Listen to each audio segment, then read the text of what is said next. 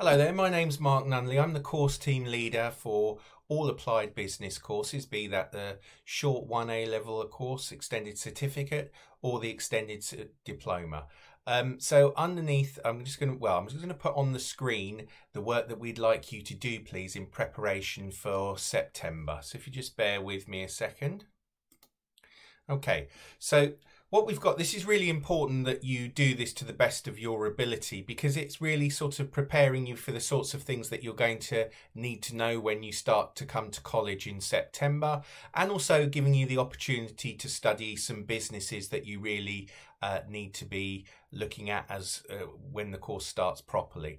So we get we've got um, the first part. I want you to choose two different businesses. One of those being Ryanair, and it can be any other business. Um, a good idea would be to do a business that's completely different to Ryanair, such as a charity. So Macmillan um, are a good source of information, cancer research people, etc. Uh, WaterAid's a good example, um, but you can choose any other business. So you've got a number of different things that you need to do for these for these five businesses. So I'll just run through them with you. I've set it up into five areas. So you need to go through, you need to find out whether your business is in is in the private or public sector and really focus in on answering these questions in here. So good explanation of what the public sector is in the and the key features and examples of businesses in the public sector. So for example, you could be talking about things such as key, uh, what's the public sector? basically owned and subsidized by taxpayers, uh, run um, on the per, by the government.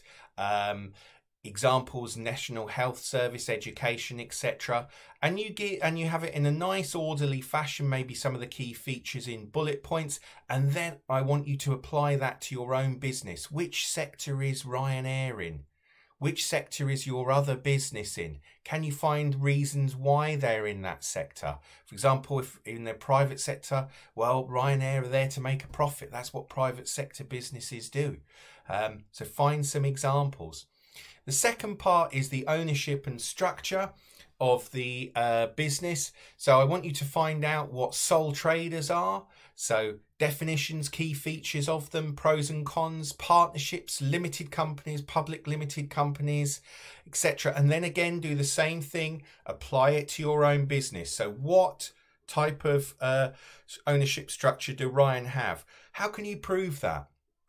For example, Ryanair being a PLC, they always have a share price. That's an example of why they're a PLC. How many shareholders do they have? And find out similar information as to why your other company is uh, either a partnership, sole trader, limited or public limited company. I mean, you can do if your family have a business, you can look at that and find out from your mum and dad that might be a good source of information for you or a local business that you're interested in. You can even use the company if you've done any work experience, you've done any little bits of part-time work every wherever that might have been a family friend or something like that in the past you could find a little about a little bit more about their business Okay, you need to find out the scale of the business. So, is it a local, national, regional, whatever that might be, and examples as to why they are. So, Ryanair, why are they an international business? Okay, could it be because of where they fly to? Find out some of that information. Notice that I've given you a guidance, please, to how much you should write on each of these points next to it as well. And then we've got some, are they in the primary, secondary, tertiary example? So what are they? And again, apply it to which one your business is in and why. And similarly with your purposes and aims and objectives, a similar sort of thing. What are they generally? Apply them and find out what they are for your business. It's really important that you get used to this doing some research and putting uh, information in your work that you've actually researched because there's a lot out there okay?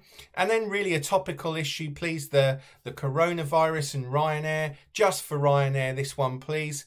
Um, find out a little bit about how it's impacted upon Ryanair. It's really topical. The airlines are really, really struggling at the moment. Find out some articles. The chief executive, Michael O'Leary, he's been on television programs recently, etc. Find out what they're doing how many flights they've had to cancel, what are they when are they planning to open up their new routes this summer, etc. How are they going to ensure social distancing? All those types of measures, please.